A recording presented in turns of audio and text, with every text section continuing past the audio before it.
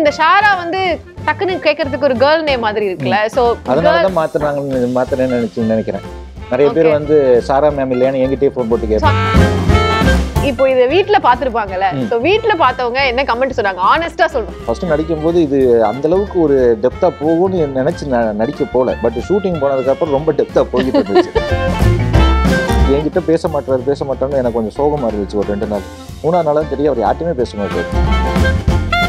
ஷாரான்னு போட்டால் ஷாரா வரல. தமன்னா தான் ஃபர்ஸ்ட் வராங்க. வெளிநாட்டிலேருந்து யாராவது தேடினாங்கன்னா உங்களை கப்புள்ஸ்னு நினைக்க வைக்கிறதுக்காக யாராவது செய்கிற சதியா? இல்லை நீங்களா செஞ்ச பின்னணி வேலையா?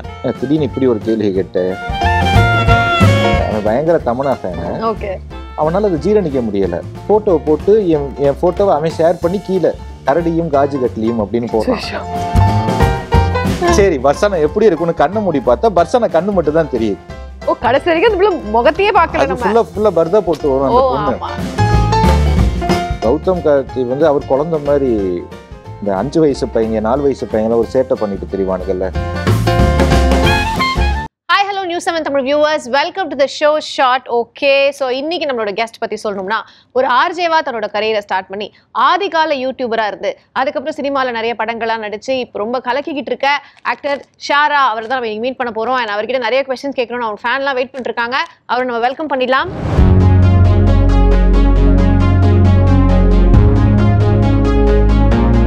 வணக்கம் சார் வணக்கம். ஸோ எகைன் எங்களோட ஸ்டுடியோக்கு வந்ததுக்கு ரொம்ப ரொம்ப நன்றி. ஸோ உங்கள் ஃபேன்ஸ்லாம் வெயிட் பண்ணிருக்காங்க உங்ககிட்ட நிறைய கொஸ்டின்ஸ் அவங்கலாம் கேட்க போகிறாங்க ஸோ வந்து ஸ்டார்ட் பண்ணுறதே வந்து உங்கள் பேரில் தான். இந்த ஷாரா அப்படிங்கிற பேரே ரொம்ப புதுசாக இருக்குல்ல. உங்களுக்கு இது கனவுலலாம் வந்துச்சு அப்படின்னு நாங்கள் கேள்விப்பட்டோம். இந்த பேருடைய பின்னணி எங்களுக்கு கொஞ்சம் சொல்லிட்டுங்களா ஹிஸ்ட்ரி ஹிஸ்ட்ரிலாம் இல்லை. என் பேர் சரவணன் ராஜேந்திரன். ஸோ சரவணா அப்படின்னு கூப்பிட்டா நான் திரும்பும்போது பின்னாடி ஒரு பத்து பேர் எனக்கு முன்னாடி திரும்பிட்டு பார்த்துக்கிட்டு இருப்பானுங்க. ஓகே ஸோ அவ்வளோ சரவணா அந்த ஊரில். சரவணாவும் கார்த்தியும் கார்த்திங்கிற பேரும் வந்து அவ்வளோ பேர் எனக்கு அந்த பேரில் சின்ன வயசுலேருந்தே பெருசாக ஒரு இன்ட்ரெஸ்ட் இல்லைன்னு வச்சுக்கோங்களேன். அந்த சரவணன் ராஜேந்திரங்கிற பேரில் பெருசாக இன்ட்ரெஸ்ட் இல்லை. திடீர்னு ஒரு நாள் வந்து எனக்கு இந்த ஷாராங்கிற பேர் ஒரு லெட்டர் மாதிரி ஒரு கனவுல வருது. உடனே அடுத்த நாள் நான் ஒரு ஒரு சின்ன ஷார்ட் ஃபிலிம் மாதிரி அப்போ யூடியூப்பில் ஒன்று ஷூட் பண்ணி வச்சுருந்தேன். ஓகே அதை எடிட் பண்ணி அன்னைக்கு அப்லோட் பண்ணேன். அதில் அந்த பேரை போட்டு ரிட்டன் டைரக்டட் பை ஷாரா அப்படின்னு போட்டு அப்லோட் பண்ணிட்டு தூங்கிட்டேன். ஓகே தூங்கி எந்திரிச்சு சாயங்காலம் ஒரு பெரிய மேகசின் வந்து ஃபோன் வருது. அந்த ட்ரெய்லரை பார்த்து நல்லா இருக்குது உங்களை நாங்கள் இன்டர்வியூ பண்ணணும் அப்படின்னு. லைஃப்பில் அதான் ஃபஸ்ட்டு இன்டர்வியூ அதுக்கு முன்னாடி வந்து எவனுமே மதிக்க மாட்டான் நம்மளை. அது மாதிரி சுற்றிக்கிட்டு இருப்போம். ஸோ அந்த பேரை மாற்றின முத நாளே இன்டர்வியூவில் போய் ஒரு பெரிய மேகசினில் போய் இன்டர்வியூ கொடுத்தேன். அதுலேருந்து அந்த பேர் அப்படியே சென்டிமெண்டா சென்டிமெண்ட்டாக பயங்கர பாசிட்டிவ் அதுவே ராசியான ஒரு பேரா மாறிடுச்சு. ஆமாம் ஆனா இப்போ இந்த ஓமை கடவுளுக்கு அப்புறமா சிவா ஷாரா அப்படின்னு வருது ஆமாம் அதுவும் கனவுல தான் வந்துச்சு. ஓ அதுவும் ஷாராக்கு முன்னாடி எல்லாமே கடவுள வருது நமக்கு. அது யாரும் சொல்றது இல்ல கடவுளே வந்து சொல்லிடுறது. வேற யாரும் சொல்றதுக்கு இல்ல. கனவுலையாவது யாராவது சொல்லட்டுமே. சொல்லிட்டு சரின்னு சிவா ஷாரா சரி வச்சுக்கோ நல்லா அது என்னன்னா அந்த ஷாரான்னு நான் என்னைக்கு பேர் மாத்தினேனோ அதே டேட்டு இந்த பேர் வந்துச்சு. ஓ. ஸோ ரெண்டு ஒரே டேட்ல அந்த பேர் வந்ததுனால நீங்க இது நிஜமா தான் சொல்றீங்க எங்க போய் சொல்ல சரி? சரி ரைட் ஓகே இதுதான் பிரச்சனையே. சரி சரி சரி. இல்ல ரெண்டும் டேட் கனவு டேட் முதற்கொண்டு சிங்க் ஆகுது. எனக்கு தெரியும்ல நான் என்னைக்கு பேர் வச்சேன்? ஓகே சோ அதனால அந்த ரெண்டு டேட்டுக்குமே வந்து எவ்வளவு வருஷம் கழிச்சு வந்தது இது? ஒரு இது வந்தது என்ன two thousand nineteen eighteen something. அது ரெண்டாயிரத்தி பதினொன்று எட்டு ஏழு எட்டு வருஷம் கழிச்சு. சோ வந்து அது மாதிரி இப்ப அதுல இருந்து சிவா ஷாரா. இப்போ வந்து இந்த ஷாரா வந்து டக்குன்னு கேட்கறதுக்கு ஒரு கேர்ள் நேம் மாதிரி இருக்குல்ல. சோ அதனால தான் மாத்துறாங்கன்னு மாத்துறேன்னு நினைச்சு நினைக்கிறேன். நிறைய பேர். வந்து சாரா மேம் இல்லையான்னு என்கிட்டயே ஃபோன் போட்டு கேட்பாங்க. ஃபோன் பண்ணுவாங்க. ப்ரொடக்ஷன் மேனேஜர்கிட்ட நம்பர் கொடுத்துருவாங்க. சாரா அப்படின்னு எழுதி கொடுத்துருவாங்க. அவங்களுக்கு அது வந்து பாயா அதெல்லாம் தெரியாது. சாரா மேடம் இருக்காங்களா? அப்படிமா. சாரா மேடம் குளிச்சுக்கிட்டு இருக்காங்க. அப்புறம் பேசணும்னு சொல்லிட்டு வச்சிருவேன். ஸோ இது மாதிரிலாம் நிறைய போயிருக்கு. சோ அதனால வந்து இப்போ சிவா ஷாரா அப்படின்னா வந்து. எல்லாருக்குமே தெரியுது. ஆமா. ஓகே இப்போ வந்து எகைன் உங்களோட கரியர் நீங்க வந்து ஆர்ஜேவா ஸ்டார்ட் பண்ணீங்க அதுக்கப்புறமா யூடியூபரா இருந்தீங்க எகைன் இப்போ வந்துருக்கீங்க. ஸோ ஆரம்பத்துல இருந்தே அந்த ஒரு மீடியா மேல ஒரு ஆசை ஒரு மோகம் அதெல்லாம் இருந்ததா? ஸோ அந்த பயணம் எப்படி இருந்தது?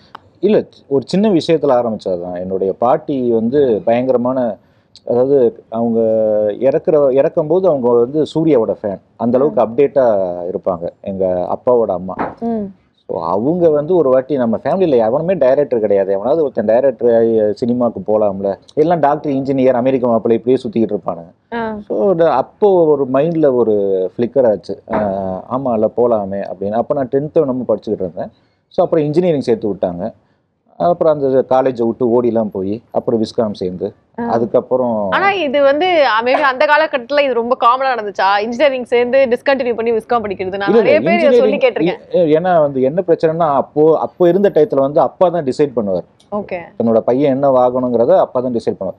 ஸோ எங்கள் அப்பாவோட அக்கா பையன் அண்ணன் பையன் எல்லாரும் வந்து இன்ஜினியர் டாக்டர் ஸோ அது இருந்ததுனால என்னையும் அந்த போட்டிக்கு இறக்கி விட்டார் எங்கள் அப்பா. நீ வந்து மெக்கானிக்கல் இன்ஜினியர் தான் ஆகணும் அப்படின்னு சொல்லிட்டு.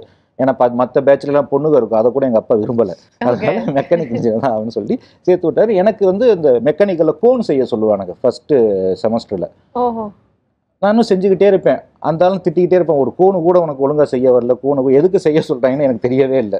எதுக்குடா நான் கோன் செய்யணும்? ஸோ இது மாதிரி அது இன்ஜினியரிங் படிச்சவங்களுக்கே இப்போ தெரியாது. எதுக்கு அந்த எதுக்கு தெரியாது. பட். நான் எனக்கு அப்போ வந்து ஒரு மாதிரி எதுக்கு இதை படிக்கிறோம் அப்படிங்கிற ஒரு கேள்வி வந்துச்சு. ஸோ அதனால வந்து ஓடிட்டேன். இவங்க. கிட்ட சொன்னா புரியாது.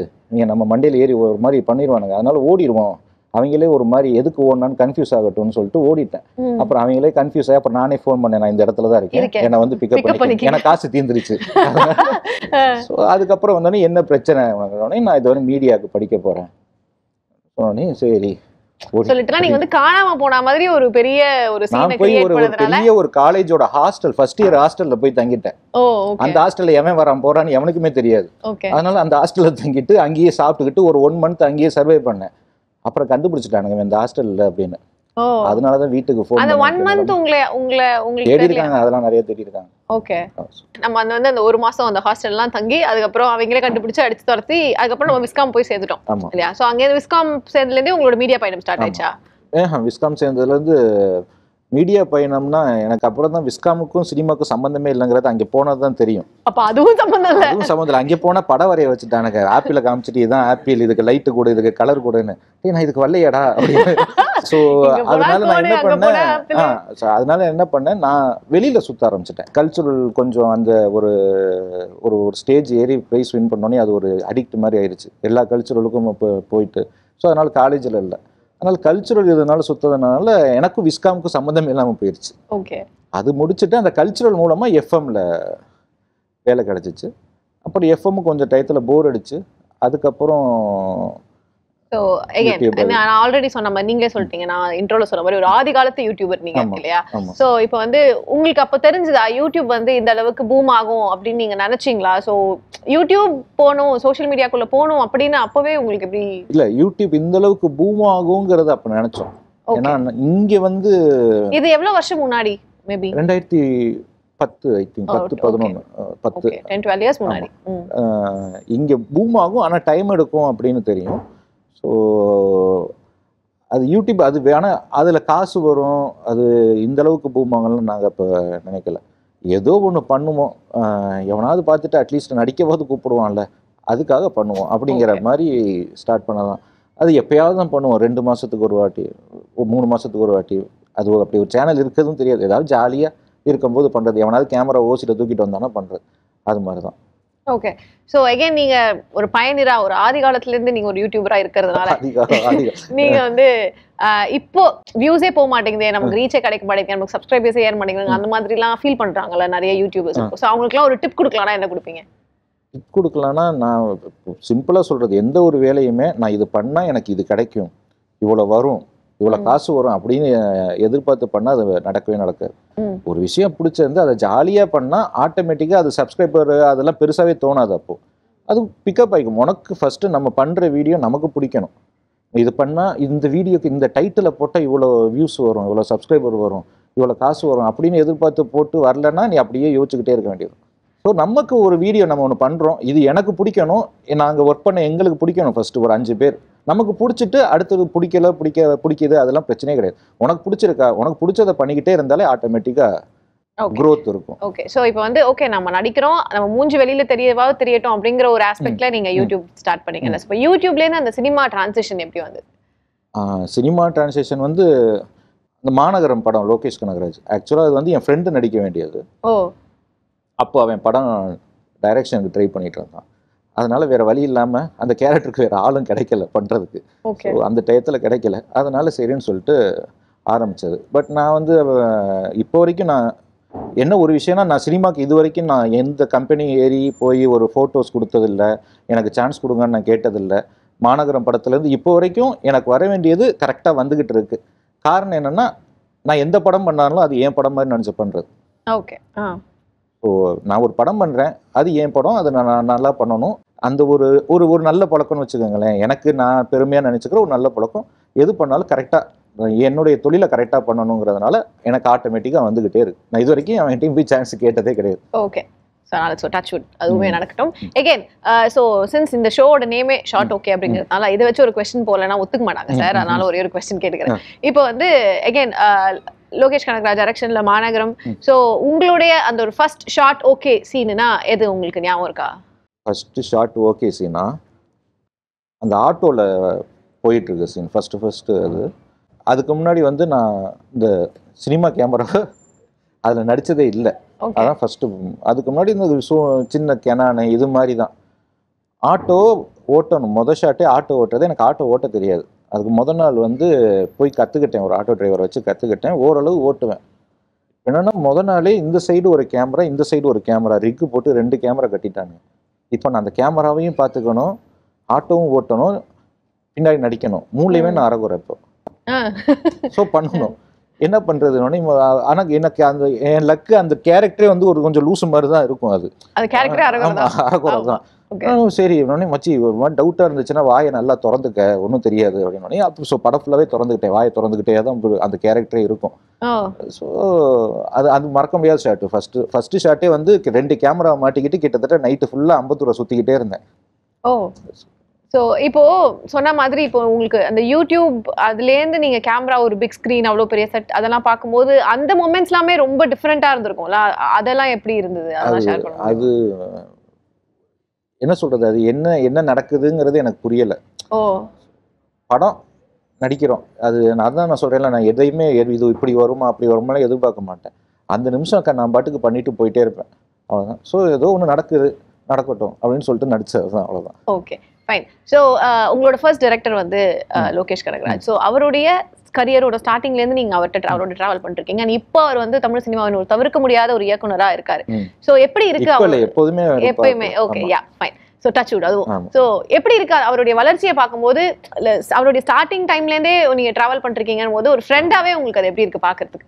லோகேஷ் கனகராஜ் நான் ரெண்டாயிரத்தி அந்த ஃபர்ஸ்ட் படம் பார்த்தப்ப எப்படி இருந்தாரோ அப்படியே தான் இப்போ இருக்காப்புல. ஓகே ஸோ அந்த பேச்சு அந்த ஒரு தன்மையாக பேசுறது கூலாக வேலை வாங்குற விதம் ரொம்ப பொறுமை.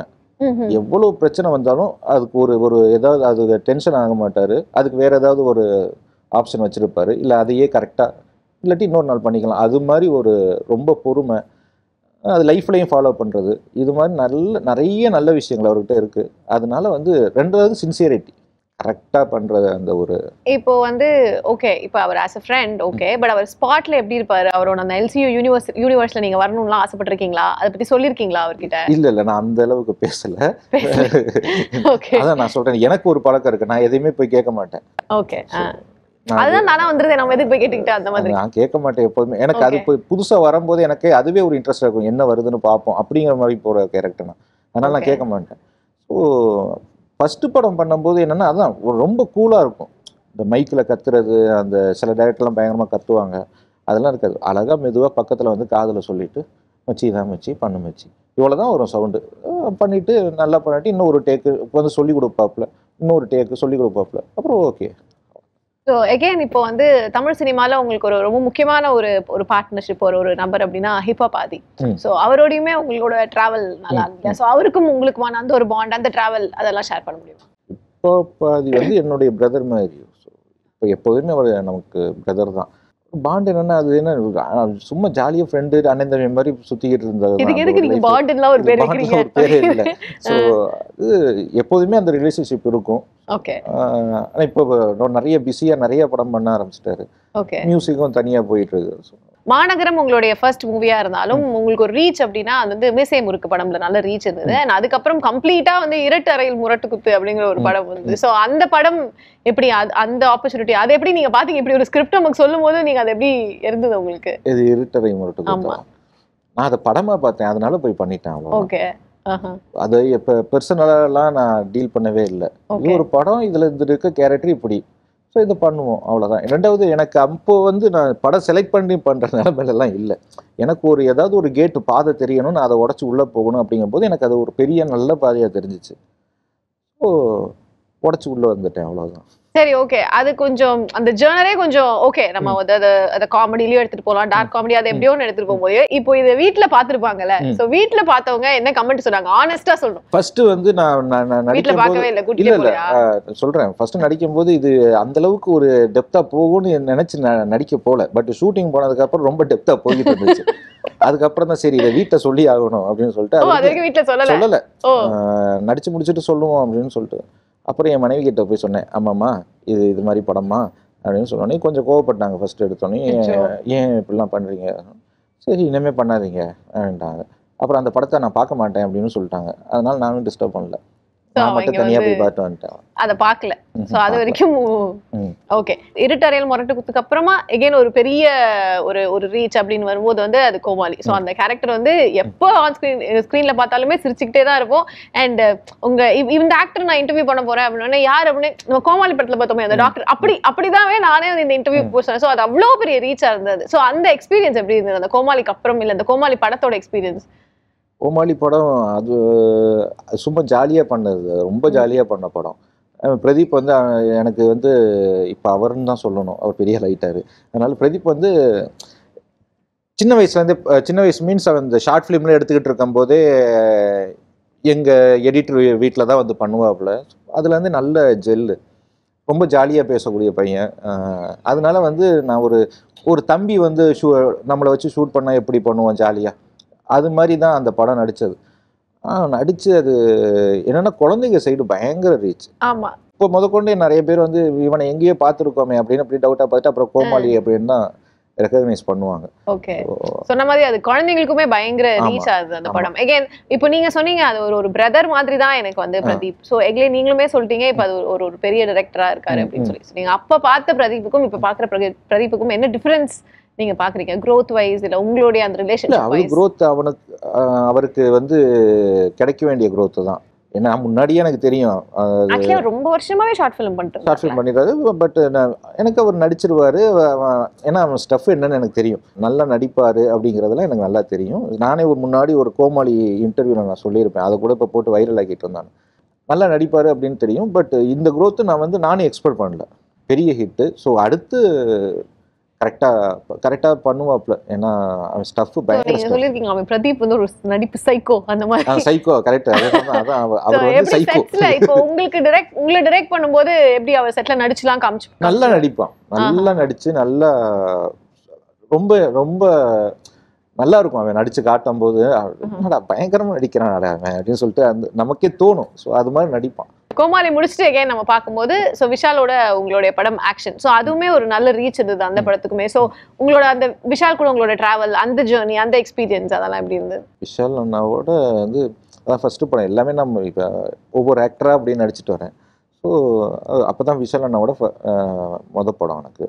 சுந்தர்சி அண்ணா டைரக்ட் பண்ணுறது எனக்கு ஃபஸ்ட்டு படம். ஆ. அசர்பைசான் ஷூட்டு மைனஸ் ரெண்டு டிகிரி குளிர் சும்மாவே கடகடன் ஆடுது. இதில் சுந்தர்சி என்ன டைரக்ட் பண்ணணும்? நான் கரெக்டாக டயலாக் வேறு பேசணும். பக்கத்தில் தமனா எல்லாம் பெரிய ஆர்டிஸ்ட் எனக்கு நான் இப்போ வந்து ரொம்ப சின்ன ஆர்டிஸ்ட் இங்கே நாங்கள் இங்க நடுங்கினதுக்கு ரீசன் வந்து குளிரா பக்கத்தில் தமனாவா? எல்லாமே எல்லாமே. முக்கியமாக Okay, சுந்தர்சி. அண்ணா சுந்தர்சி அண்ணா வந்து டைரக்ட் பண்ணுறாரு உங்க நேர்மை எனக்கு ரொம்ப ஆ. அது என்ன ஒவ்வொரு நாளும் அதாவது எப்படின்னா அந்த இந்த வைவாக்கு போவாங்களே எக்ஸாமுக்கு முன்னாடி. அது மாதிரியே போவேன். ஒவ்வொரு ஷாட்டும் அத்தி கரெக்டாக பண்ணிடணுமே. இவருக்கு பிடிக்கணுமே. இல்லாட்டி கோவப்பட்டுருவாரு. ஸோ இது மாதிரியே போய் கொஞ்சம் ஒரு பயத்தோடையே நடித்த படம் வந்து ஆக்ஷன் ஆனா வந்து இப்ப விஷால் வந்து நிறைய இந்த விஷாலோட சேர்ந்துட்டு நீங்க நிறைய பிராங்க்லாம் பிராங்க் பண்ணிருக்கேன் இந்த மாதிரிலாம் நிறைய விஷயங்கள் நடந்திருக்குன்னு சொன்னோம்ல. சோ அந்த மாதிரி எதுவும் ஒரு ஷேர் பண்ண முடியுமா? பிராங்க் நான் இப்போ சும்மா போகிற ஆள் யாரையாவது ஒருத்தர் செலக்ட் பண்ணி வச்சுக்குவோம். அவருக்கு நாங்களே ஒரு கதை எழுதுவோம். ஓகே. இவர் இப்படி இருந்தால் எப்படி இருக்கும்? அப்படிங்கிற மாதிரி அதில் ஒரு ப்ராங்க்னா வந்து இந்த விஷால் அண்ணாவோட பேர் வந்து ஐஸ்வர்யா பண்ணாங்க. அவங்களுக்கு அப்பா கேரக்டர் ஒருத்தர் பண்ணார். யாருனே தெரியாது அவருக்கும் தெரியாது. ஸோ அவர் அவரை செலக்ட் பண்ணிக்கிட்டோம். இப்போ இந்த கேரக்டர் உள்ள அன்றாயர் போடலன்னா இந்த இதுக்குள்ள என்னங்க? அது பண்ணும் ரியாக்ட் பண்ணும் அப்படின்னு சொல்லிட்டு அதை ஆராய்ச்சி பண்றது. ஒவ்வொருத்தரா செலக்ட் பண்ணி ஆராய்ச்சி பண்ணி நாங்களே தனியா உட்காந்து சிரிச்சுக்கிட்டு இது மாதிரி ஃபன் பண்றது இப்போ. அது வந்து அந்த அந்த பர்சனுக்கு வந்து தெரியாது. அது தெரியாது. அவருக்கு முன்னாடி இதை பேசிக்கிட்டு இருப்பான் அவருக்கு தெரியாது.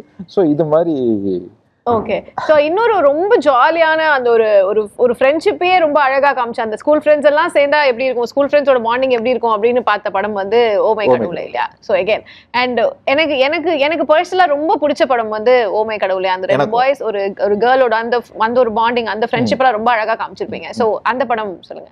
அந்த படம் ஃபுல்லாவே மேஜிக் தான். அது எப்படி ஆரம்பிச்சிச்சுன்னு தெரியல எப்படி. முடிஞ்சிச்சுன்னு தெரியல எப்படி ரிலீஸ் ஆச்சுன்னு தெரியல. டப்பு டப்பு டப்பு டப்புன்னு போன படம். அது அஸ்வத் அவனும் எனக்கு ஃப்ரெண்டு ஸோ அதுவும் வந்து பிரதீப்போட சீனியர் தான் அஸ்வத். அதுவும் வந்து ஒரு மாதிரி இந்த ஃப்ரெண்ட்ஸ் எல்லாம் சேர்ந்து ஒரு. ஒரு ஒரு மூவி பண்ணா லைவ்லியாவே இருக்கும்ல ஆ, ஒரு மூவி பண்ணா எப்படி இருக்கும்? அது மாதிரி தான் அந்த படம். ஒரு. ப்ரெஷர் இருக்காது ஷூட்டிங்னா அந்த தட தடன்னு சவுண்டு இது அது மாதிரி எதுவுமே இருக்காது. சும்மா ஓகே ஜாலியா போறது ஜாலியா வர்றது. ஷாட்டுக்கு முன்னாடி டைரக்டர் பிரேக் எடுத்துட்டு போயிடுவான் ஒரு ஷாட் ஓகே உடனே டைரக்டர் பிரேக் எடுத்துட்டு போயிட்டு அவர் ஓகே பத்து நிமிஷம் கழிச்சு தான் வருவார். ரிலாக்ஸ் எல்லாம் பண்ணிட்டு. அவ்வளோ சில்லா எடுக்கக்கூடிய டைரக்டர் தான் அஸ்வத். ஒரு தான் ஒரு ஒரு கேரக்டரா ஒரு வந்து ஒரு ஒரு காமெடியனா அந்த மாதிரிலாம் தாண்டி உங்களுக்கு நிறைய உங்களுடைய டைலாக்ஸ் ரெண்டு மூணு ரொம்ப ஒரு இம்பாக்ட்ஃபுல்லான ஒரு டைலாகா இருந்ததுல. கூட. இருக்கும் போதெல்லாம் உங்களுக்கு வேல்யூவே தெரியாதா? அந்த மாதிரி ஆமா. பண்ற டைலாக்ஸா இருக்கட்டும். அண்ட் ஏதோ ஒரு ஷார்ட் நீங்க வந்து ஒரு ஃபைவ் டேஸ்லாம் எடுத்தீங்க அப்படின்லாம் நாங்க கேள்விப்பட்டோமே. எந்த ஷாட்டு ஃபைவ் டேஸ் ஆமா ஒரு ஃபைவ் டேஸ் ஊரை சுத்த வச்சாங்க. கார்ல எல்லாம் உட்கார வச்சு அது. அது என்னது அது ஆக்சுவலி அது இந்த கதைப்பொம்மா சாங் ஷூட் இருக்குல்ல? அது. ஃபுல்லாக கேரளா இடுக்கில இருந்து ஒரு டிராவல் மாதிரி போகும் ஸோ அதுக்கு என்னையும் கூட்டிட்டு போயிட்டாப்ல டேரக்டர் எனக்கு ஷாட்டு ஒரே ஒரு ஷாட்டு தான் அங்கே எடுக்க வேண்டிய ஷாட்டு போனோடனே மொதல் ஷாட் எடுத்துட்டானுங்க. முதல் நாள் முதல் ஷாட் எடுத்துட்டாங்க மீதி நாலு நாள் நானும் சுற்றிக்கிட்டே இருந்தேன் இந்த கதைப்பொம்மா பாட்டு அப்படியே சரி ஃபுல்லாக Okay. சுற்றிக்கிட்டு ஸோ அது மாதிரி தான் அது ஒரு மாதிரி ஜாலியாக ஃப்ரெண்ட்ஸ் பண்ணுற மாதிரி பண்ண படம். பட் நம்ம இப்போ பேசிக்கிட்டே வரும்போது திரும்பி பார்க்கும்போது ஒரு ஓகே நம்ம ஒரு பேக் ஆஃப் குட் ஃபிலிம்ஸ் கொடுத்துருக்கோம்ல. அவ்வளோ ஒரு. நல்ல ப்ரொஃபைல் நம்ம மெயின்டைன் பண்ணியிருக்கோம். அப்படி. அந்த பேசும்போதே அது. நல்லா இருக்கு. இல்லை அது எனக்கு வருது அவ்வளோதான் நானாக எதுவுமே தேடி போகிறதில்ல அதுவாக வருது. சிலது மொக்கையாக வந்துச்சுன்னா பண்ண மாட்டேன். கொஞ்சம் கதை கேட்டு பண்ணுறதுனால ஸோ நீங்க அதுவுமே இஃப் யூ நீங்க அந்த பாக் இதுல நமக்கு பெருசா ஸ்கோப் இல்லைன்னா யூல் சே நோ ம். ஓகே அது எப்படி சொல்றது? சில சமயம் பண்ற நிலைமைக்கு போவோம் நம்ம. அப்போ பண்ணிக்கிறது. ஸோ அகைன் நம்ம வந்து இன்னொரு மூவி பத்தி பேசணும்னா Dikkiloona. So again with Santhanam. And சொல்லவே வேணாம் சந்தானம் நார்மலா பேசும்போதே அவர்கிட்ட பேசுறதுக்கே யோசிச்சு யோசிச்சு இப்போ இதை வச்சு இவர் என்ன கவுண்டர் கொடுப்பாருன்னு தெரியலையே அந்த மாதிரி யோசிச்சு இருக்கும். ஸோ அந்த அந்த ஃபன் எல்லாம் எப்படி இருந்தது? அது சந்தானம் நம்ம வந்து அழகா சொல்லி கொடுப்பாரு. ஸோ ஓகே சில சில சில டைலாக் வந்து நமக்கு அவரே கொடுப்பாரு. இந்த டைலாக் நீ பேசு. எக்ஸ்ட்ரா இப்போ ஸ்கிரிப்டில் இருக்காது. டக்குன்னு அந்த ஸ்பாட்டில் சொல்லுவார். ஓகே அவர் ஒரு புதுசாக ஒரு டைலாக் போடு இது டைலாக் அது பாதி நான் டிக்கிலோனால பாதி டைலாக் வந்து அவர் எடுத்து கொடுத்தது தான் ஃபுல்லாகவே சில. நிறைய கன்வர்சேஷன் வந்து அவர் இந்த டைலாக் போடு. ஸோ ஒரு மாதிரி பார்த்த உடனே ஜெல்லாகி ஜாலியாக பண்ணக்கூடிய ஒரு ஆர்டிஸ்ட் எனக்கு அவருக்கு ஷூட் வெறும் மூணு நாள் நாலு நாளோ தான் அந்த படத்தில். ஓகே எனக்கு இன்னொரு கொஸ்டின் என்ன இருந்ததுன்னா இப்போ உங்ககிட்டலாம் நீங்க நிறைய இப்போ நீங்க எல்லாம் பண்ற மூவிஸே ஒரு மாதிரி ஃப்ரெண்ட்ஸா எல்லாரும் சேர்ந்து எல்லாம் பண்றீங்க. ஸோ அந்த மூவி டைம்ல எல்லாருமே ஒருத்தருக்கு ஒருத்தர் பயங்கர ஜாலியா டெய்லிலாம் மீட் பண்ணிட்டு அந்த மாதிரிலாம் இருக்கும்ல. இப்போ ஒரு பிரேக் இருக்குது இல்ல நீங்க அதுக்கப்புறம் அந்த மூவி தாண்டிலாம் அதுக்கப்புறம் வெளியில மீட் பண்றது அந்த மாதிரி டைம்லாம் உங்களுக்கு கிடைக்குமா? டைம்லாம் கிடைக்கும் நான் போக மாட்டேன். ஓகே என்ன சொல்றது?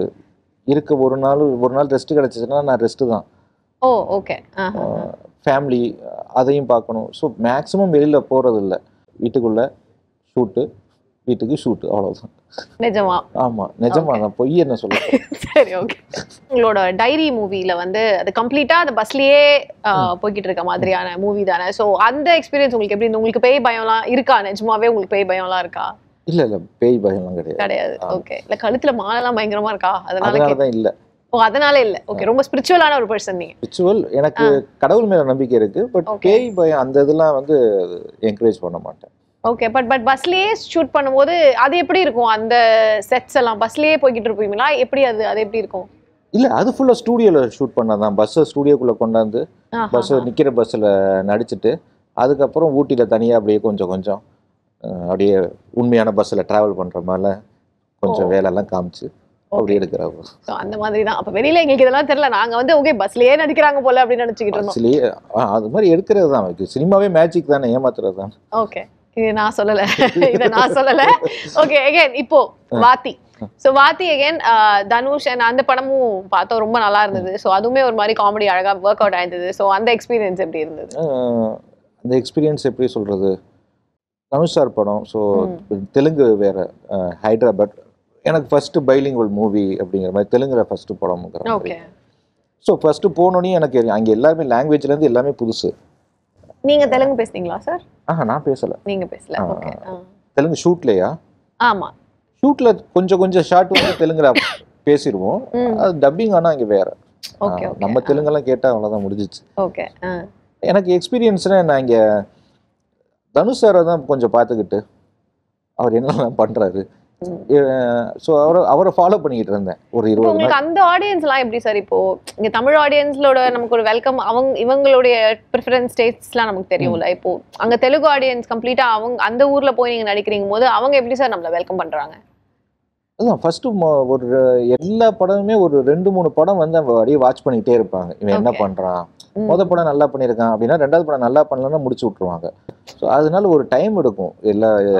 எல்லா எல்லா ஃபீல்ட்லையுமே பட் ஒன்ஸ் பிடிச்சிருச்சு அப்படின்னா அவங்களுக்கு பிடிச்சது தான் பிடிக்கல அப்படின்னா என்னதான் குரங்கு வித்த காமிச்சாலும் பிடிக்கல. பிடிக்கல தான் அவ்வளோதான் இங்கே அதுதான் இங்கேயும் சரி தெலுங்குலையும் சரி எல்லா இதுலேயுமே அது பிடிக்கணும் அவ்வளோதான் அது என்ன ரீசன் அப்படின்னா சில கருப்பாக ரொம்ப இதுவாக இருப்பாங்க ஆனால் பிடிக்கும்.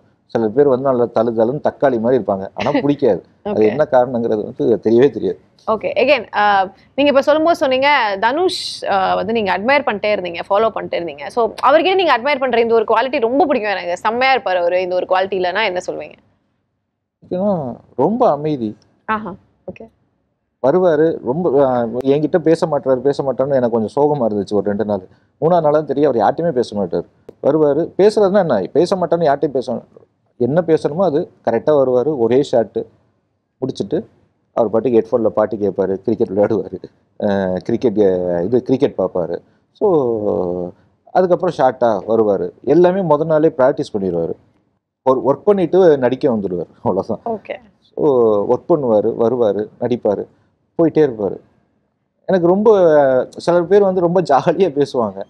ஆனால் கடைசி பார்த்தா ஏதாவது ஒரு இதில் போய் மாட்டிக்குவோம். இவர் பேசவும் இல்லை நம்மளும் பேசலை. ஆனால் வந்து வேலை கரெக்டாக போச்சு.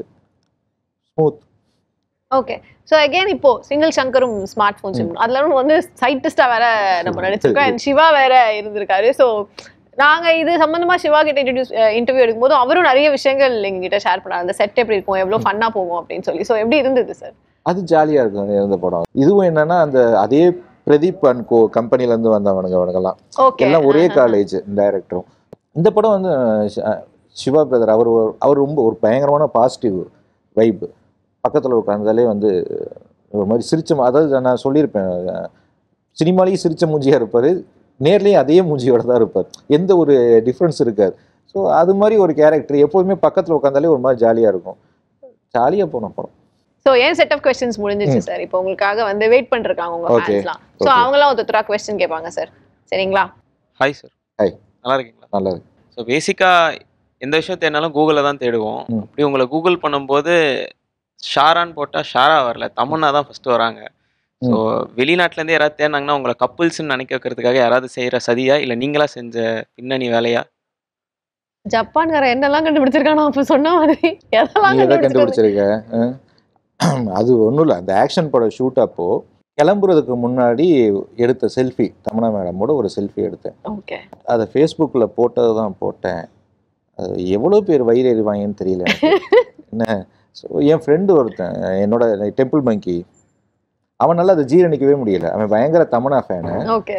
அவனால் அதை ஜீரணிக்க முடியல. ஃபோட்டோ போட்டு என் என் ஃபோட்டோவை அவன் ஷேர் பண்ணி கீழே கரடியும் காஜு கட்லியும் அப்படின்னு போடுறான். காஜு நான் கரடியா காஜு கரடியும் காஜு கட்லியும் அப்படின்னு போட்டு ஷேர் பண்ணுறான் ஸோ அது மாதிரி நிறைய பேர் வயிற்றுச்சல கிளப்புன ஒரு புகைப்படம் அது. அதை இருந்துட்டு போட்டேன் நல்லா தானே கொஞ்சம் ஜாலியா தான் இருந்துச்சு. பயங்கர பயங்கர ஜாலியாக ஜாலியா தான் இருந்துச்சு. ரைட் இந்த நேர்மை தான் எனக்கு ரொம்ப பிடிச்சிருக்கு ஆரம்பத்துல இருந்து பேசிக்காக வந்து லைக் ஓமை கடவுளை ஆக்ட் பண்ணியிருந்தீங்கல்ல உனக்கு சொன்னா புரியாதுடா உனக்கு சொன்னா புரியாதுடா உனக்கு சொன்னா புரியாதுடான்னு புரியாத அளவுக்கு சொல்லிட்டே இருப்பாங்க. ஸோ அந்த மாதிரி ரியல் லைஃப்ல யாராவது உங்களோட அந்த எக்ஸ்பீரியன்ஸ் இருந்திருக்கா? சொன்னா புரியாதுடா. புரியாதுன்னு சொல்றப்போ எவ்வளோ ஒரு நச்சரி ஒரு மாதிரி ஹெஸ்டேட்டிங்கா இருக்கும். அந்த மாதிரி யாராவது பண்ணியிருக்காங்க அது மாதிரி நிறைய பேர் இருந்திருக்காங்கப்பா. ஸோ வாழ்க்கையில் என்னடா பண்ண போகிறேன் என்னடா பண்ண போகிறேன்னு நாங்கள் என்கிட்ட நிறைய பேர் கேட்பானுங்க. நான் சொல்லுவேன். அவங்களுக்கு புரியாது. நான் என்ன பண்ணுறது அவங்க என்கிட்ட கேட்பாங்க டேய் இப்படிலாம் இருந்தால் உருப்பட முடியாது. உனக்கு சொன்னால் புரியலை அப்படிம்பானுங்க. சரி போடா அப்படின்னு போட்டு அது மாதிரி நிறைய பேர் இப்போ வரைக்கும் இருக்கானுங்க. அவங்களுக்கு தான் ஆக்சுவலா புரியல நம்ம சொல்றது. ஆமாம் ஆ, நான் நடிக்க போகிறேன்னா டே லூசு பேல ஒழுங்கா வேலை பாரு. இன்ஜினியரிங் போ அப்படி தானே சொல்லுவானுங்க. அப்போ உங்களுக்கு வந்து ரொம்ப இந்த இந்த இதை சொன்னாலே எனக்கு பயங்கரமா இரிட்டேட் ஆகும். இதை சொல் சொன்னாலே யாரா இருந்தாலும் எனக்கு பயங்கர இரிட்டேட் ஆகும் அப்படி உங்களுக்கு இரிட்டேட் பண்ற ஃபேஸ் ஏதாவது இருக்கா? இரிட்டேட் பண்ணுற ஃபேஸ் ஒரு ஒரு ஃபேஸ் இப்போ காலேஜில் படிக்கும்போது ஒரு ஃபேஸ் ஒன்று இருந்துச்சு. நான் பேர் சொல்ல விரும்பல ஒரு ஃபேஸ் இருந்துச்சு. நான் என்ன பண்ணாலும் அடேங்கப்பா இவர் இப்படி பண்ணுறாரு அவன் இப்படியே போகும். ஒரு வாட்டி ஒரு ஒரு சேனல் ஒன்று ஆரம்பிக்க போகிறோம் அதுக்கு இதான் பேர். அடேங்கப்பா டெம்பிள் மங்கி ஆமல ஸோ இப்படி சொன்னிச்சு. பார்த்தா டெம்பிள் மங்கி ஹிட்டு ஸோ அது என்ன அடேங்கப்பான்னு சொல்கிறதெல்லாம் ஹிட் ஆயிருது. ஓகே அதனால எதுவாக இருந்தாலும் அதுகிட்ட சொல்றது. சொன்னோடனே அது நம்மளை பத்தி கொஞ்சம் வயிறு எரியும் சரி ஓ. கரெக்ட் ஓகே ஹிட் ஓகே அவங்க வந்து அது ஒரு வஞ்ச புகழ்ச்சி மாதிரி. வந்த புகழ்ச்சி ஓ மாதிரி அது நமக்கு ஒர்க் அவுட் ஆயிருக்கு. ஒர்க் அவுட் ஆயிருது. Nice nice next hi sir Hi. எல்லா ஆக்டர்ஸ்க்கும் வந்து டபுள் ஆக்ஷன் பண்றது ஒரு பெரிய கனவா இருக்கும். இல்ல அந்த ஒரு ஃபீல் நல்லா இருக்கும். ஸோ நீங்க வந்து சூப்பர் டூப்பர் படத்துல வந்து டபுள் ஆக்ஷன் பண்ணிருக்கீங்க ம். ஸோ இதை பத்தி அந்த ஃபீல் உங்களுக்கு எப்படி இருக்கு? அது டைரக்டர்கிட்ட தான் கேட்கணும். உங்க செட்ல உங்களுக்கு அந்த ஃபீல் எப்படி இருந்துச்சு? என்னடா பண்றீங்க? என்ன வச்சு. எனக்கு புரியல அந்த படம். ஃபர்ஸ்ட் அந்த படம் வந்து அந்த மாமா கேரக்டர் தான் பண்றதுக்கு நடிச்சுக்கிட்டு இருந்தேன். ஒரு டயத்தில் அது அந்த இன்னொரு கேரக்டர் வந்து இப்ப சரியா அவர் டைரக்டர் யோசிச்சவருக்கு வந்து ஏதோ நைட்டு தூக்கத்தில் கனவுல எதுவும் போனேன்னு தெரியல. அடுத்த நாள் வந்து நின்றுட்டாரு எனக்கு அந்த போலீஸ் கேரக்டர் இருக்குது ப்ரோ ஆனால் அது நீங்கள் தான் பண்ணணும். டபுள் ஆக்ஷனாக போயிடும் என்னங்க லாஜிக்கே இல்லாமல் பேசுனீங்க? எப்படிங்க பண்ண முடியும்? என்கிட்ட சொன்ன கதை ஒன்று இப்போ சொல்கிற கதை ஒன்று இல்லை ப்ரோ அது ஒர்க் அவுட் ஆகும் ஒர்க் அவுட் ஆகும்னு சொல்லி அதுக்கப்புறம் சரி என்னமோ சொல்கிறேன் பண்ணுறேன் அப்படின்னு சொல்லிட்டு பண்ணது. பட் எனக்கு ரொம்ப என் ஃபேமிலியில் எல்லாருக்கும் ரொம்ப பிடிச்ச படம் அந்த படம். ஒரு மாதிரி நல்லா ஜாலியாக இருக்கும் அப்படின்னு சொல்லுவாங்க. எனக்கும் ஒரு மாதிரி அந்த போலீஸ் கேரக்டர் ஒரு மாதிரி ஒரு லூசுத்தனமாக இருந்துச்சு. ஓகே அப்போ அந்த டபுள் ஆக்ஷன் போது அப்ப இந்த கெட்டப் சேஞ்ச் பண்றது பாடி லாங்குவேஜ் சேஞ்ச் பண்றது அதுக்கான ஹோம் ஒர்க்ஸ்லாம் அப்புறம் தனியா அவங்க சொன்னதுக்கு அப்புறம் போயிட்டு பண்ண பண்ணீங்களா அதெல்லாம்? அதுல எப்படி இருந்தது? ஹோம் ஒர்க்கா ஹோம் ஒர்க்கெல்லாம் இல்லை. Work-லாம் அப்படியே போய் ஒர்க் இல்லையா? நம்ம தான் கோன் பண்ணதுக்கே அவப்படி விட்டோமே நான் எனக்கு வந்து போய் ப்ராக்டிஸ்லாம் கிடையாது. அந்த. செகண்ட் என்ன வருதோ அதுதான். அதோட இதில் விட்டுறது. அந்த செகண்ட் ஒரு டயலாக் சொல்கிறாங்க பிளான் பண்ணியே பண்ண மாட்டேன். அப்போ என்ன நான் என் மூஞ்சி எப்படி வருதோ அப்படியே. டைரி படத்துல வந்து அந்த பஸ் டிராவல் நைட் டிராவல் பண்ற போது அந்த பேய் சீன்ஸ்லாம் காட்டுவாங்க. இது மாதிரி நீங்க நைட்ல டிராவல் பண்ணும்போது இந்த மாதிரி இந்த பேய் இருக்குமா இப்படி வருமா அப்படின்னு திங்க் பண்ணிருக்கீங்களா? பேய் இருக்குமா வருமா? சின்ன வயசில் திங்க் பண்ணியிருக்கேன் அந்த படத்துக்கு அப்புறம் வந்து இந்த மாதிரி சீன்ஸ்லாம் வந்து திங்க் பண்ணிருக்கீங்க. ஆஹா இப்போல்லாம் இந்த பேய் இதெல்லாம் இல்லையேப்பா. இருந்தால் நான் திங்க் பண்ணலாம். இப்போ இல்லை பொதுவாக நான் ஸ்கிரிப்ட் அடிக்கடி நிறைய ஸ்கிரிப்ட் எனக்கு தோன்றதெல்லாம் எழுதிக்கிட்டே இருப்பேன். எனக்கு இந்த பேய் படம் மாதிரி எழுதவே பிடிக்காது. ஏன் அப்படின்னா நம்ம கொஞ்சம் ஒரு ஒரு மணி நேரம் நம்ம அதே திங்கிங்கில் இருந்தோம்னு வச்சுக்கேன் அப்போ தான் இந்த பேய் பயம்லாம் வரும். அதனால் நான் அந்த சைடே போகிறதில்ல அப்போ உங்களுக்கு அந்த அமானுஷ்யமான விஷயம்லாம் எதுவும் நடந்தது கிடையாதா பெருசா? அமானுஷ்ய விமான விஷயங்கள்லாம் அதான் அமானுஷ்யமான விஷயங்கள் நடந்ததெல்லாம் இல்லை. ஓகே. இல்லை அது பெர்சனலாக நடந்திருக்கு பட் அது சொல்லக்கூடாதுல்ல அது. ஓகே. நடந்திருக்கு. நம்ம. சொல்றது இல்ல சொல்றது இல்ல அது. எதுக்கு சொல்லிக்கிட்டு? சரி சரி அது இருக்கோ இல்லையோ இல்லாமையே போட்டுமே. அது. மாதிரி. அது ஏன் இருந்தா அப்படி ஓரமா இருந்து அந்த மாதிரி. நான் நான் வந்து டெம்பிள் மங்கீஸ் பற்றி தான் கேட்க போகிறேன் ம். டெம்பிள் மங்கீஸ் உங்களோட ஜானி எப்படி இருந்துச்சு? எதுக்கு டெம்பிள் மங்கீஸ்னு பேர் வச்சிங்க? அப்புறம் டெம்பிள் மங்கீஸில் நீங்கள் என்ன ஸ்ட்ரகிள்ஸ் ஃபேஸ் பண்ணீங்க? அந்த ஸ்டார்டிங் ஸ்டேஜ்லேருந்து இப்போ வரைக்கும் டெம்பிள் மங்கி ஹிட் ஆகுற வரைக்கும் மற்றவங்க சொன்னது. இல்லை இப்போ நான் டெம்பிள் மங்கியில் இல்லை. அது என் ஃப்ரெண்டு தான் பார்த்துக்கிட்டு இருக்கான். ஸோ நான் படம் எனக்கு அதுவே கரெக்டாக இருக்கிறதுனால நான் எனக்கு ரெண்டாவது எனக்கு சோஷியல் மீடியா கொஞ்சம் நான் அதுக்குள்ளேயே இல்லை. இப்போ சோஷியல் மீடியாக்குள்ளேயே இல்லை. எனக்கு அது பெருசாக இன்ட்ரெஸ்ட் இல்லைன்னு வச்சுக்கோங்களேன். டெம்பிள் மங்கி ஆரம்பிக்கும் போது ஸ்ட்ரகிள்னால் என்ன? ஒன்று அப்போ லைஃபே ஸ்ட்ரகிள் தான். சோத்துக்கு கூட காசு இருக்காது. அந்த மாதிரி ஒரு ஸ்ட்ரகிள் அப்போது ஒரு பையன் கேமரா எடுத்துகிட்டு வருவான். ஃபைவ் ஃபிஃப்டி டின்னு ஒரு கேமரா ஸோ அவன் வீட்டுக்கு எடுத்துகிட்டு வர கேப்பில் ஏதாவது ஒன்று ஷூட் பண்ணி போடுவோம். எதையுமே எதிர்பார்த்து இது ஒரு பெரிய பிராண்ட் ஆகும் இது ஒரு பெரிய ஒரு கம்பெனி ஆகும் அப்படின்னு எதிர்பார்த்துலாம் நான் ஆரம்பிக்கவே இல்லை. சும்மா போட்டுவேன் அவ்வளோதான் அதுக்கப்புறம் ஒரு ஒரு நாள் வீடியோ போடுவோம் அடுத்த நாள் பசி வந்துடும் அவன் எங்கிட்டாவது ஓடிடுவான் நான் எங்கிட்டாவது ஓடிடுவேன். அப்புறம் ஒரு ஒரு மாதம் கழித்து வீடியோ போடுவோம். இப்படி போட்டது தான் டெம்பிள் மங்கின்னு ஏன் பேர் வச்சோம் அப்படின்னா இப்போ குரங்கு இருக்குல்ல குரங்கு கோயிலில் வந்து வாழைப்பழத்தை பிச்சை எடுக்கும். பிச்சை எடுக்குன்னு சொல்ல வாங்கி சாப்பிடும். ஆனால் எங்கே போய் சா உட்காந்து சாப்பிட தெரியுமா நேராக கோபுரத்துக்கு மேலே போய் உட்காந்து தான் சாப்பிட்டோம் அதாவது எடுக்கிறது பிச்சைனாலும் கோபுரம் மேலே உட்காந்து சாப்பிடுவோம் அப்படிங்கிறதுக்காக தான் அந்த டெம்பிள் மங்கி அப்படிங்கிற அப்புறம் எனக்கு இன்னொரு கேள்வி என்னன்னா உங்களுக்கு இந்த மாதிரி ஒரு கேரக்டரில் நடிக்கணும். இப்போ நிறைய ஆர்ட் ஃபிலிம்ஸ் நிறைய வருது.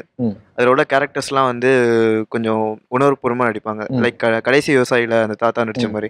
அந்த மாதிரி உங்கள் லைஃப்பில் சினிமாவில் இந்த மாதிரி நான் ஒரு கேரக்டர் பண்ணணும் அப்படி ஐடியா இல்லை இந்த மாதிரி பண்ணணும்னு ஐடியா எதுவுமே வச்சுக்கிட்டதே இல்லை. ஆனால் எல்லாமே பண்ணணுங்கிற ஐடியா இருக்கு. ஹாய்ண்ணா ஹாய். வாத்தி படத்தில் நீங்கள் லவ் ப்ரப்போஸ் பண்ணும்போது. பல்ப் வாங்கியிருப்பீங்கண்ணே. அதே எங்கள் ரியல் லைஃப்பில் நடந்திருக்காண்ணா ரியல் லைஃப்பில் நடந்திருக்கோம் ப்ரப்போஸ் லவ் பண்ண ப்ரப்போஸ் பண்ணும். நிறைய வாங்கியிருக்கேன். நிறைய ப்ரப்போஸ் பண்ணியிருக்கீங்க அப்போ. என்னது? ப்ரப்போஸ் பண்ணாமே பல்ப் வாங்கியிருக்கேன். நிறைய வாங்கியிருக்கேன். சின்ன வயசுல இருந்து சின்ன வயசுல இருந்து அதான் இந்த ஸ்கூல்ல இருந்தே ஆரம்பிச்சாச்சு. ஓகே. ஏதாவது ஒரு இன்ட்ரெஸ்டிங்கா ஏதாவது ஒரு ஃபன்னியா ஏதாவது? ஃபன்னியான இதுன்னா நான் எயித்துல எயித்து ஸ்டாண்டர்ட் படிக்கும்போது எயித்துல ஃபர்ஸ்டா ஆ இல்ல ஆமா இருங்க யோசிச்சுக்கிறேன். ஆமா எயித்து எயித் எயித் தான் ஃபர்ஸ்டா ஆமா ஃபர்ஸ்ட் ஃபர்ஸ்டே அதான் ஆமா. ஓகே எயித் ஸ்டாண்டர்ட் படிக்கும்போது எங்க அப்பாவுக்கு வந்து ரொம்ப பாசம் என் மேல. அதனால என்ன ஆட்டோல தான் அனுப்புவார். நான் சைக்கிளில் போகிறேன் சைக்கிளில் போகிறேன்னா விட மாட்டார். ஆட்டோவில் தான் போகணும். ஸோ ஆட்டோவில் நான் மட்டும் பையன். மற்றதெல்லாம் பொண்ணு. நான் முன்னாடி இப்படியே உட்காந்துருப்பேன் இப்படி தான் உட்காந்து டிரைவர் பக்கத்தில் உட்காந்து தான் போகணும். அப்போது ஒரு பர்சானான்னு ஒரு பொண்ணு ஆட்டோவில் ஏறுது. ஸோ ஸ்டார்ட் ஆயிடுச்சு. வயலின்லாம் ஸ்டார்ட் ஆகி கட கட கடன்னு போய் ஸோ ஒரே லவ் அந்த காதலுக்கு மரியாதை வந்த டைம் நினைக்கிறேன். என்னை தாலாட்ட வருவாளா? அந்த லவ் டுடே. பாட்டு இதெல்லாம் ஃபுல்லாக போய்கிட்டே இருக்கும். ஸோ நானும் டெய்லி வரும் ஆட்டோவில் உட்காரும் நானும் இப்படியே அப்படியே பார்த்துக்கிட்டே வருவேன். கண்ணாடியில் அதுவும் பார்க்கலாம் மாட்டேன் பயமாக இருக்கும். அப்படி திரும்பிட்டு ஒரு டக்குன்னு இப்படி அவ்வளோதான் ஸோ ஆனால் ஒரு மாதிரி நல்லா இருக்கும் அந்த ஃபீலிங் இப்படியே போயிட்டு வந்துச்சு. சரின்னு எயித்து முடிஞ்சிட்டேன். நைன்த்து மறுபடியும் எங்கள் அப்பா ஆட்டோவில் அனுப்புகிறார் ஸ்கூல் முடிஞ்சு ஆனுவல் லீவ் முடிஞ்சு. சரி பர்சானா வரும்னு பார்த்துக்கிட்டு இருந்தால் பர்சானா வரல.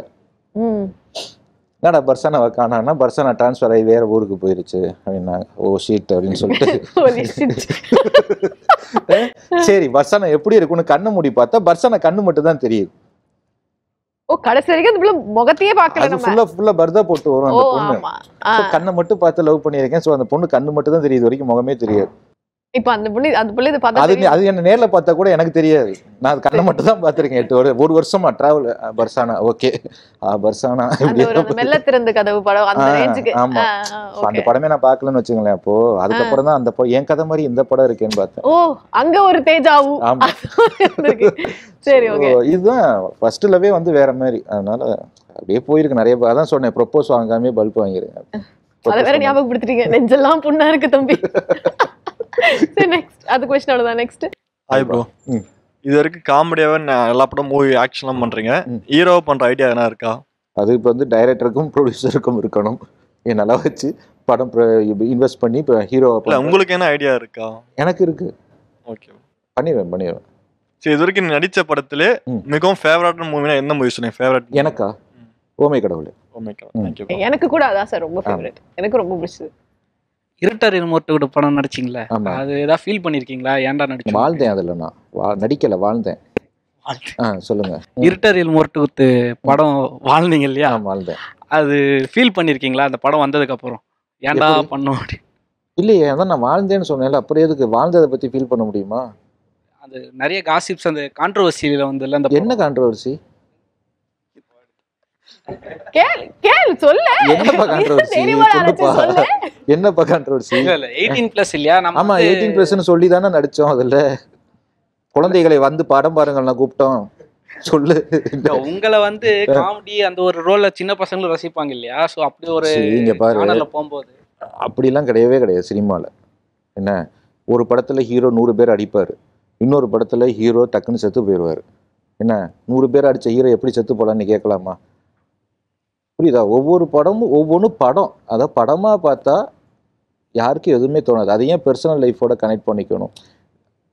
இப்போ நான் அந்த இருட்டல் மோட்டு கொடுத்து நடித்தேன் அடுத்து ஓமை கடவுளை நடித்தேன் அடுத்து ஓட்டுன்னு ஒரு படம் நடித்தேன் இப்போ டைரின்னு ஒரு படம் நடிக்கிறேன். எல்லாமே ஒவ்வொன்று அது அது ஒரு அது ஒரு ஜேர்னர் அவ்வளோதான் அதை அப்படி பார்த்துட்டு போயிடணும். கோமாளி ஷூட்டிங் ஸ்பாட்டில் ஜெயம் ரவி சார் கூட இருக்கும்போது ஏதாவது நடந்த ஒரு மூமெண்ட் ஏதாவது மறக்க முடியாத மூமெண்ட்னு சொல்ல முடியும் மாதிரி எதாவது இருக்கா? மறக்க முடியாத மூமெண்ட்னா அது படமே ஃபுல்லாக ஜாலியான ஒரு படம்ப்பா அது ஃபுல்லாகவே ஜாலி தான். ஃபுல்லாக ஜாலியாக சிரிச்சுக்கிட்டே மறக்க முடியாத மூமெண்ட்னு எதுவுமே எல்லாமே அது நல்ல மூமெண்ட் ஆஃப் த ரெக்கார்ட்ல ஏதாவது சம்பவம் நடக்கும் இல்லையா? அப்படி எதுவுமே இல்லை. அப்ப இந்த படத்துல இருட்டறையில் முரட்டு குத்து படத்துல இப்ப அந்த சீன்ஸ்லாம் நடிக்கும் போதே உங்களுக்கு பயங்கரமா சிரிப்பு வந்திருக்கும்ல. சோ அதெல்லாம் நிறைய டேக்ஸ் போய் அந்த மாதிரிலாம் இருந்திருக்கா? கௌதம் கார்த்திக்கும் உங்களுக்குமான சீன்ஸ்லாம் ஆமா அது மாதிரி இருந்திருக்கு. கௌதம் கார்த்தி வந்து அவர் குழந்தை மாதிரி இந்த- அஞ்சு வயசு பையன் நாலு வயசு பையன்லாம் ஒரு சேட்டை பண்ணிட்டு தெரிவானுங்கல்ல அது மாதிரி தான் அவர் ஃபுல்லாகவே சும்மா போகும்போது இடுப்பில் குத்திக்கிட்டு விளையாடுவார். ஸோ எனக்கு இடுப்பில் குத்துனா வீக் பாயிண்ட்டு ஸோ அதை கண்டுபிடிச்சிக்கிட்டாரு. ஸோ இருபத்தஞ்சு நாள் குத்திக்கிட்டே இருப்பாரு அப்புறம்? நான் இப்போ நானும் இப்போ டெம்பிள் மெக்கேஸில் தான் கேட்க போகிறேன் இப்போ டென் டெம்பிள் மெக்கேஸில் நீங்கள் கண்டென்ட் கிரியேட் பண்ணதும் இப்போ சினிமாவில் நீங்கள் நடிச்சதுக்கும் இல்லை எக்ஸ்பீரியன்ஸ் எப்படின்னா இருக்குது யூடியூப் வேற இது வேறப்பா. யூடியூப் கண்டென்ட் வேற சினிமா கண்டென்ட் வேற. யூடியூப் ஷூட் பண்ணுறது வேற சினிமாவில் ஷூட் பண்ணுறது எல்லாமே டோட்டலாக வேற. நடிக்கிறது முதற்கொண்டு. யூடியூப்லலாம் இப்போ வந்து சில சில ஷார்ட்லாம் வந்து இஷ்டத்துக்கு நம்ம பாட்டுக்கு எடுக்கலாம் என்னெல்லாமே பண்ணலாம். பட் சினிமாக்குன்னு ஒரு பேட்டர்ன் இருக்குது ஒரு ரூல்ஸ் இருக்குது ஸோ ரெண்டுமே டிஃப்ரெண்ட் எனக்கு யூடியூப் வந்து நான் சினிமாவுக்கு போகிறதுக்கு ஒரு என்ட்ரன்ஸ் அப்படி தான் இருந்துச்சு. பட் அதை தாண்டி நான் சினிமாவில் தான் நிறைய கற்றுக்கிட்டு இருக்கேன். சிங்கிள் சங்கரும் ஸ்மார்ட் மோட் சிம்ரனும்ல வந்து ஒரு சிங்கிள்ஸ்க்காக ஒரு ஸ்மார்ட் ஃபோன் கண்டுபிடிச்சிங்க. அதே மாதிரி ரியல் லைஃப்ல நீங்கள் ஒரு சயின்டிஸ்டாக இருந்தீங்கன்னா. என்ன கண்டுபிடிப்பீங்க? அது ஏன்? சயின்டிஸ்டாக இருந்தால் என்ன கண்டுபிடிப்பீங்க? என்ன கண்டுபிடிப்பீங்க? அப்படின்னு கேக்குறாரு என்ன கண்டுபிடிப்பீங்க? திடீர்னு இப்படி ஒரு கேள்வி கேட்டேன். யோசிக்கணும் நான் ஏய் நாங்க கோணையே பண்ண முடியாதுன்னு சொல்லிட்டு வந்துட்டோம். சயின்டிஸ்ட்லாம் ஆனா என்ன பண்ணுவோம்? சயின்டிஸ்ட் ஆனால் என்ன கண்டுபிடிப்பீங்கன்னு கேட்டியா? மக்களுக்கு நல்லதா? மக்களுக்கு நல்லது செய்கிறவா இல்ல மக்களுக்கு நல்லதாவா? இல்ல சிங்கிள்ஸ்க்கு நல்லதாவா? கப்பிள்ஸ்க்கு நல்லதாவா? எனக்கு நான் கண்டுபிடிக்கிறதுனா சயின்டிஸ்டாக இருந்தாவா? டக்குன்னு ஒரு ஒரு- ஒரு ஒரு நிமிஷத்தில் அப்படியே ட்ராவல் பண்ணி ஒரு யூஎஸ் போயிட்டு அந்த அங்கே போய் அண்ணன்லாம் பார்த்து ஒரு சாக்லேட் கொடுத்துட்டு டக்குன்னு ஒரு நிமிஷத்தில் அப்படியே வீட்டுக்கு வர மாதிரி. டைம் மிஷின் எதா- ஆ? டைம் மிஷின் எதுனா வச்சு வச்சுக்கோ பேர் வச்சுக்கோ. ஏதாவது ஒன்று கண்டுபிடிக்க வேண்டியதான் சரி ஹாய் சார் ம். இந்த மாதிரி உங்களுக்கு ரகுவன் சாரை பிடிக்கும்னு கேள்விப்பட்டிருக்கேன். ஆ ஏன் ரொம்ப பிடிக்கும்? அவர் மாதிரி வில்லன் ரோல் கட்சா பண்ணுவீங்களா? கண்டிப்பாக பண்ணுவேன். ரகுவரன் சாரை ஏன் எனக்கு பிடிக்கும் அப்படின்னா நான் சின்ன வயசுலேருந்து பெருசாக யார் இறந்தும் நான் அழுதது கிடையாது. ஸோ எனக்கு நான் சின்ன வயசுலேருந்து நிறையா படம் பார்ப்பேன் தேட்டரில் ஃபஸ்ட் நாளே போய் பார்ப்பேன். ஸோ எங்களோட டயத்தில் ரகுவரன் சாரோட படங்கள் நிறையா. அவர் இறந்த நியூஸு கேட்டு ஃபஸ்ட் டைம் நான் அழுதேன். அப்போ தான் எனக்கு தெரியும் எனக்கு அவர் அவ்வளோ பிடிக்கும் அப்படிங்கிறது. ஸோ அதுக்கப்புறம் அவரோட படத்தெல்லாம் நிறைய ஃபுல்லாக பார்த்து நிறைய நிறைய அப்பயும் நிறைய பண்ணியிருக்காரு. ஆக்சுவலாக அவருக்கான கரெக்டான ஒரு ரெக்கக்னேஷன் வந்து இறந்ததுக்கப்புறம் இல்லைன்னு தான் சொல்லுவேன். அவ்வளோ பண்ணியிருக்காரு. அவர் மாதிரி ஒரு ஆக்டர் இப்போ வரைக்கும் ரீப்ளேஸ் பண்ண முடியாது. அது மாதிரி ரகுவரன் சார் மாதிரி ஏதாவது வில்லன் ரோல் வந்தால் பண்ணுவேன். ஸோ முடிஞ்சிருச்சு. எஸ் இனிதே நிறைவடைந்தது. ஃபேன்ஸ் கொஸ்டின் தேங்க்யூ இப்போ வந்து ஓகே இப்போ உங்களுக்கு வந்து நீங்க உங்களை படத்துல பார்க்குற உங்களோட ஃபேன்ஸா இருக்கட்டும் வியூவர்ஸா இருக்கட்டும் அவங்களுக்குலாம் ஒரு ஒரு ஒரு பிம்பம் இருக்கும் இல்லையா. ஷாராங்கிறவர் இப்படிதான் அப்படிங்க ஆக்சுவலி ஷாராங்கிறது எந்த மாதிரியான ஒரு மனிதர்? நாங்களாம் வந்து ஓகே ரொம்ப காமெடியா ரொம்ப ஜாலியா. அப்படி கவுண்டர் கொடுத்துட்டு அந்த மாதிரியா? இல்ல இப்போ நாங்க பார்க்கும்போது ரொம்ப ஸ்பிரிச்சுவலா. ரொம்ப ஹம்பிளா அப்படி உட்காந்துருக்கீங்கல்ல இதுதான். இதுதான். ஓகே என்ன மாதிரியான ஒரு பிம்பம் என்ன மாதிரியான ஆக்சுவல் லைஃப்ல ஷாரா எப்படி? சார் ஆக்சுவல் லைஃப்பில் எப்படின்னா ஒரே விஷயம்தான் அன்பு. ஓகே எல்லாட்டையும் அன்பாக இருக்க தெரியும். அவ்வளோதான் நம்ம அவ்வளோதான் வேற எதுவும் பெருசாக இல்லை. ஸோ ஆக்சுவலி வந்து உங்களுக்கு டைரக்ஷன் தான் பயங்கர இன்ட்ரெஸ்ட் இல்லையா? நீங்க டைரக்ஷன் ஆக டேரக்டர் ஆகணும் அப்படிங்கிற ஆசையில தான் வந்தீங்க. ஸோ அதுக்கான முயற்சிகள் எதுவும் எடுக்கிறீங்களா? போய்கிட்டே வந்து. கூடிய சீக்கிரத்துல ஏதாவது எதிர்பார்க்கலாமா உங்க சைட்ல கண்டிப்பாக ஓகே நீங்களே ஹீரோ? நீங்களே ஹீரோவான இல்லை அப்படி நான் சொல்ல மாட்டேன். ஓகே டைரக்ஷனாக என்ன பண்ணணுமோ அது போய்கிட்டு இருக்கு ஓகே வெரி நைஸ் ஸோ ரொம்ப ரொம்ப ஸ்வீட்டா இருந்தது இந்த ஒரு கான்வர்சேஷன் ஸோ உங்களுக்கு பிடிச்சிருக்கும் அப்படின்னு நாங்க நினைக்கிறோம். ஏன்னா ஆல்மோஸ்ட் நம்ம எண்ட் ஆஃப் த இன்டர்வியூக்கு வந்துட்டோம். ஸோ எப்படி இருந்தது இந்த ஒரு ஒன் hour உங்களுக்கு எங்க கூட? ரொம்ப நல்லா இருந்துச்சு ஜாலியாக இருந்துச்சு. எனக்கு பழைய பாஸ்ட்லாம் பேசுகிற யோசிச்சு பார்க்கும்போது ஸோ முக்கியமாக பர்ஷனா லவ்லாம் இது வரைக்கும் நான் சொன்னதில்லை. பர்ஷனா பர்ஷனா கதெல்லாம் ஸோ எனக்கு எனக்கு அதெல்லாம் பிடிச்சிருந்துச்சு. ஸோ ஜாலியாக இருந்துச்சு. ஜாலியா இருந்துச்சு. இவங்க கேட்ட கேள்வியும் பசங்க கேட்ட கேள்வியும் ரொம்ப நல்லா இருந்துச்சு. ஆமாம் கொஞ்சம் பரவாயில்ல. நல்லா கேட்டாங்க. அது அந்த எங்கே? அந்த பையன் கேட்ட கேள்வி அந்த அவன் கேட்ட என்ன கண்டுபிடிவீங்கன்னு கேட்டான். ஸோ நல்லா இருந்துச்சு. இவன் கேட்ட கேள்வி பல்பு. அதுதான் உங்களோட மெமரியை கொண்டு வந்துச்சு. ஆமாம் okay. So very nice so இந்த மாதிரி கலகலப்பா ஜாலியாக எப்போவுமே நீங்கள் இருக்கணும். ஸோ உங்களோட எல்லா மூவிஸுமே பயங்கர ஹிட் ஆனும் நாங்களும் வாழ்த்துக்கள் தெரிவிச்சுக்கிறோம். ஸோ எங்க எங்களோட இவ்வளோ நேரம் நீங்கள் ஸ்பெண்ட் பண்ணுறதுக்காக ஒரு சின்ன token of love from our side